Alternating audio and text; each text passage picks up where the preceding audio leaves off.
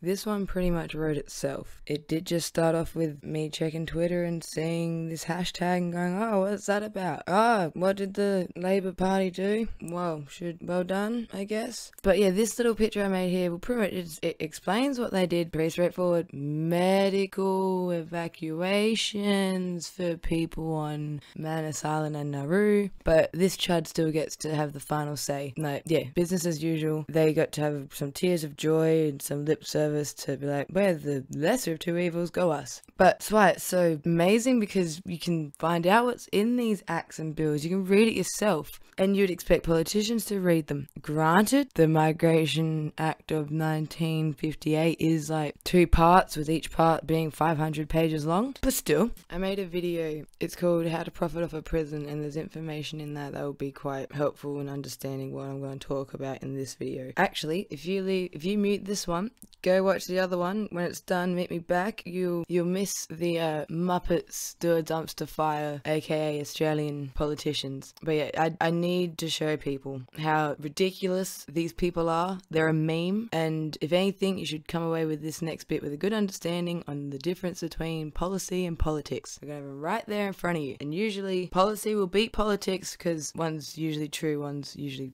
full of shit. All right, we'll start off with fucking the prime minister. Thank you, Mr Speaker. My question is to the Prime Minister. Will the Prime Minister explain to the House what is required for strong borders and for keeping Australians safe and secure? Okay, just quickly, uh, the act here on the side, that's just the content table for volume one and volume two, and just having it there makes what is going to be said in this question time by some ministers obviously a lie. Like, anybody can work it out. And the guy that asked the question, uh, they're from the same team, so that's his boy, so he's asking a question that he's like, yeah, ask me this, I'll smash it out the park. National security policy to keep Australians safe and secure you need to understand and appreciate the threats that the nation faces. You need to ensure that you have a plan to address those threats, and I outlined that plan that has been working for Australia under our government on Monday of this week to the National Press Club that addresses those threats. You have to be prepared to resource that plan by ensuring you have economic policies that provide for a stronger economy and that you have the budget management skills to bring the budget back into balance so you can support those important investments to keep Australians safe and secure. These Here we go. All right, we'll get into what these so-called threats are shortly, but I just had to take a moment to appreciate that old mate I stopped the boats with his little trophy wants to then use Australian taxpayer dollars to build a replica of the Endeavour from the first fleet to sail around Australia or something. So, Scott, I stopped the boats. I'll build the boats. Morrison. Yes. Great plan, strategy, protection of the country. Douchebag. country. But you know, there's one thing more important than all of that.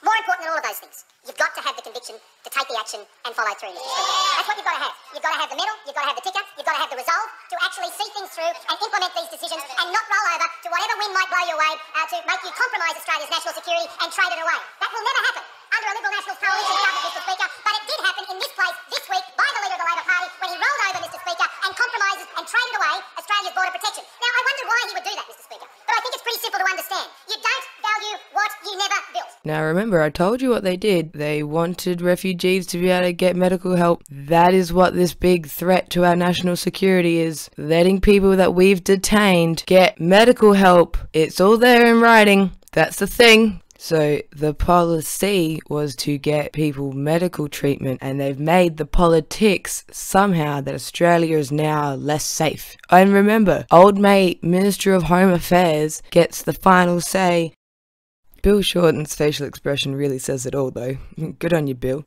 Oh, and you can tell that the Prime Minister feels very, very proud of himself with his final line here. Oh, it's a ripper. Every time we have brought legislation into this place on national security legislation, he has always sought to drag it down to the lowest common denominator and then claim some form of bipartisanship. There is not a cigarette paper's difference between us, there is a phone book.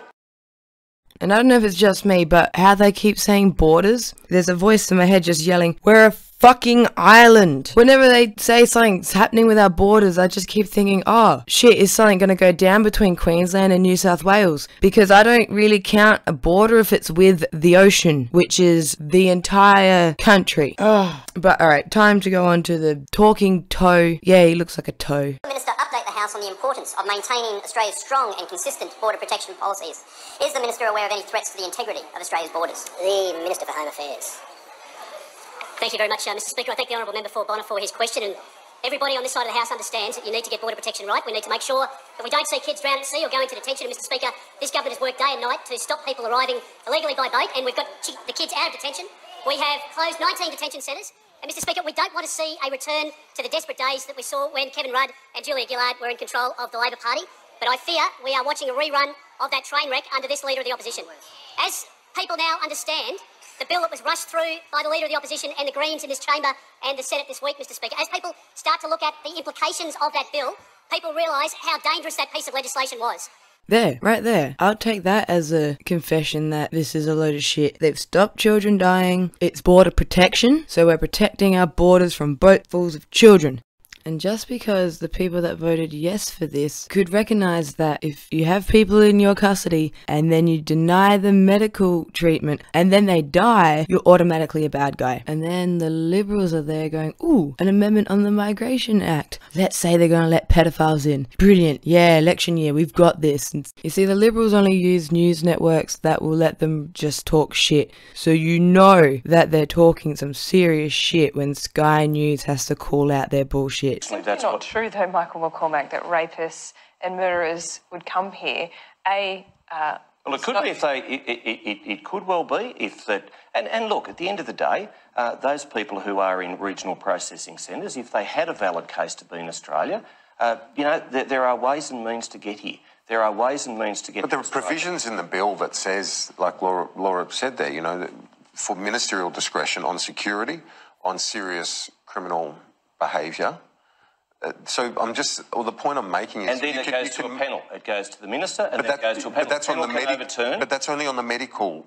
Well, the panel not on the security. Ministerial discretion.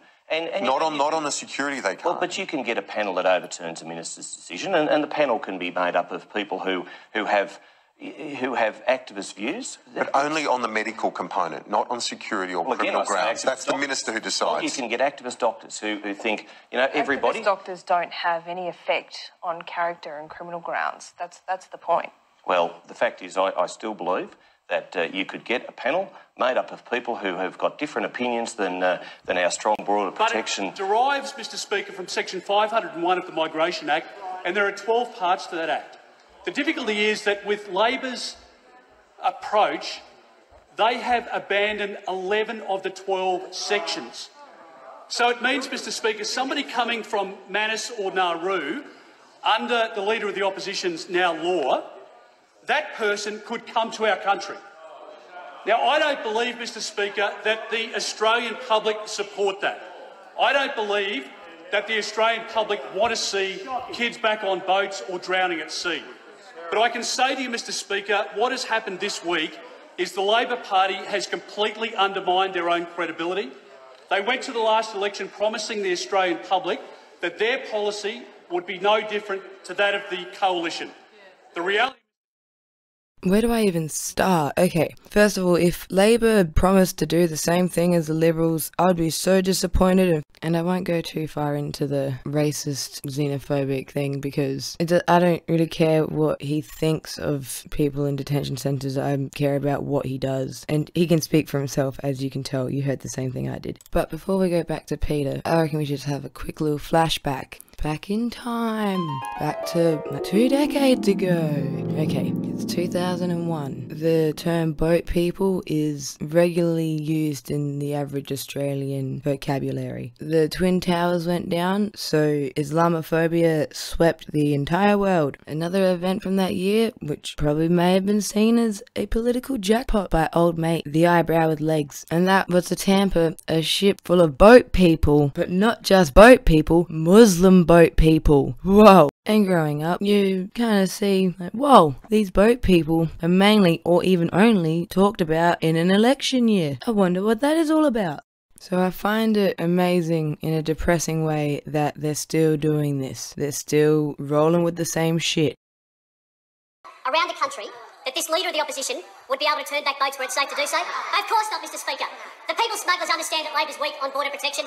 What the fuck do you mean? I'm pretty sure if your life is in danger or your situation is that shit that you're willing to get in a boat to go to another country, I don't think you give a shit on what party's in power. And the people smuggling, the people smugglers. Why is it always we just go deter them? So we'll lock up the refugees and people seeking asylum. That's like if somebody stole your TV and then when you found out who took it, your TV spends a night in jail. Now, what is the core of this issue here? Are Australians just really racist or xenophobic to anyone that comes here, especially by boat? Or could it be that the Liberals have nothing else to run off? They've got no policies and they've been fear mongering about boats, well, for pretty much my entire life, anyways. And I know you already know the answer to this if you've watched my video, How to Profit Off a Prison, and another video I did that is really relevant to this one. But I didn't do it in the way that I did it, I probably would have forgotten but because I thought I'd frame them and just leave them there, I still have the most ridiculous piece of language, like a salad of words, which is now our law. And drumroll please, it was in the dodgy as fuck creation of the Department of Home Affairs. Like, I didn't realize till just recently, right now, really, but I get to say, I told you so. The proof's there months ago. I try to warn yous. But if you put these agencies in the same department and put that bold reptilian at the head of it, what could possibly go wrong? What could possibly Member Blair go has the wrong? call. Members on my right. That's all right. Enjoy yourself. Thank you. Thank you, thank you, Mr. Speaker. Members my on question, my right. Thank you, Mr. Speaker. My question is to the Minister for Home Affairs. The Financial Review reports the government has a $423 million contract with the secretive Paladin Group, a group registered to a beach shack run by a director charged with fraud and money laundering, and which is charging taxpayers $20 million a month for services worth just $3 million. Can the Minister guarantee this almost half a billion dollar contract meets the probity required for the spending of taxpayers' money?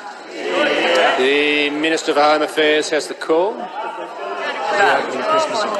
So, Mr. Speaker, I, I'm actually quite touched, I've got to say. I mean, he doesn't get much of a chance to ask a question. He doesn't ask questions very regularly in this place. And, Mr. Speaker, you can see why.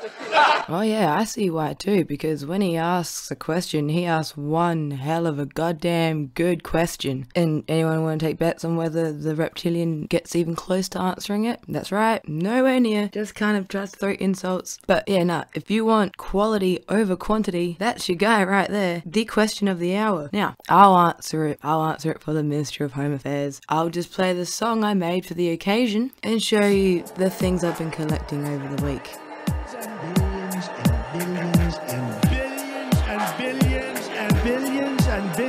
and billions and billions and billions and billions and billions and billions and there's negative, there's negative, there's negative billions and billions and billions and money.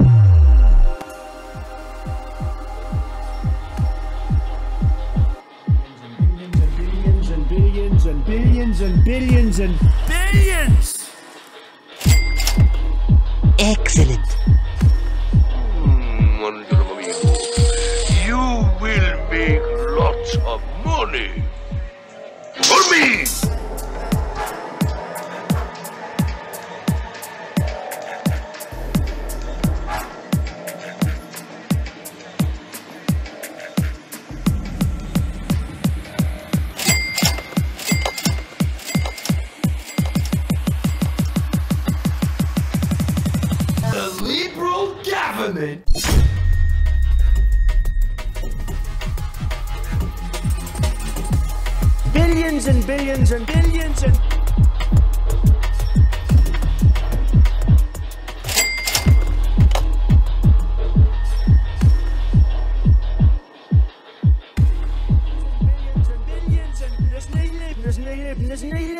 negative, there's negative, there's negative, billions and billions and billions and there's negative, there's negative, there's negative, billions and billions and billions and there's negative, there's billions and negative, billions and billions and billions and there's negative, there's negative, there's negative, billions and billions and billions and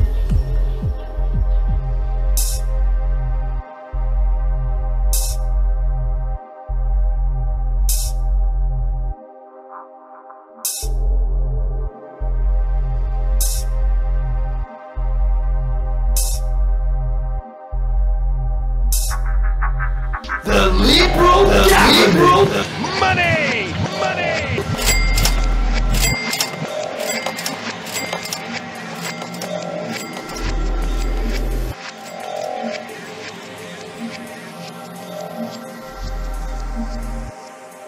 Where I personally would let you in Australia if you just wanted to be here, because I don't blame you, especially if you're willing to get in a dinghy to get here. I would probably reward you a bravery medal for. I couldn't do that with the. There's sharks out there.